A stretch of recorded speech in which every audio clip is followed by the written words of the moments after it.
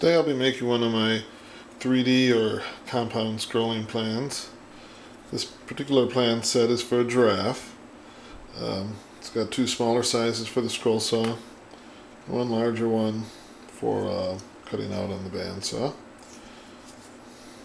I'm going to cut it out of, uh, I have a piece of plum right here, so I'm going to cut it out of that. It's from a tree that died in our backyard a couple years ago. Always there's something a little different wood, I like to try and use it. Seems like it's pretty darn hard, so let's see how that cuts out. So uh, be a little smaller than this one. This one was from a one and a half by one inch piece of wood. Obviously they don't come out quite like this. You have to uh, kind of round things off with a rotary tool or carving knife to uh, get the smooth. Right. I have the pattern on here and I'm now cutting it down to size. So once I get it a little thinner like that it'll be easier to work with.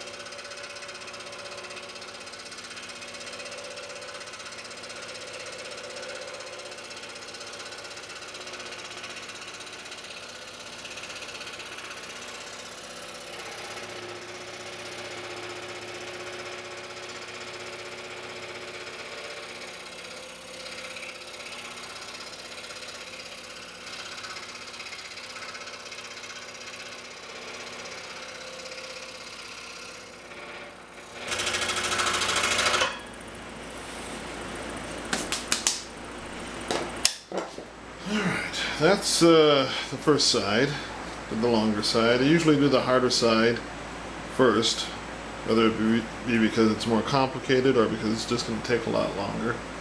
Um, in this particular case, this wood is really, really hard. So um, I cut it out, but uh, I broke a blade in there doing that. But uh, this other side should go much easier. I'll cut out the interior piece and then cut out the profile we'll have ourselves a draft. Uh, typically I'll just put tape on the sides, they'll hold everything together. Some people will clamp it to keep everything much more secure. Okay, I got the sides taped up. I use duct tape here, a little stickier than the uh, painter's tape I usually use to put the patterns on.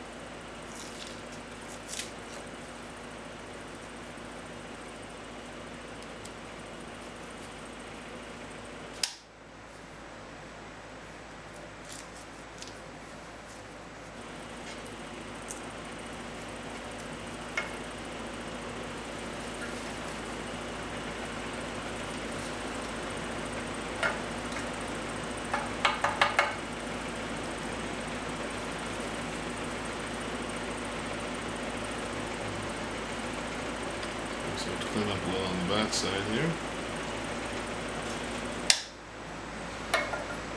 For instance of this one, there was a small knot inside the wood that uh, affected one of the back ears. Normally, when when I'm done,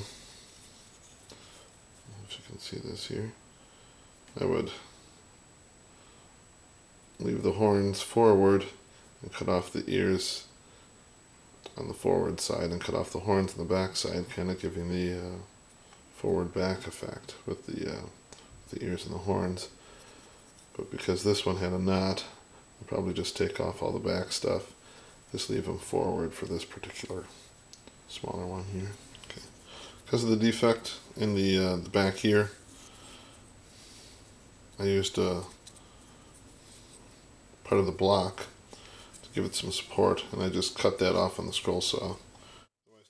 Then I cleaned a little bit up with a carving tool, needle file. So still looks all right. I prefer them with the uh, more offset lean back look.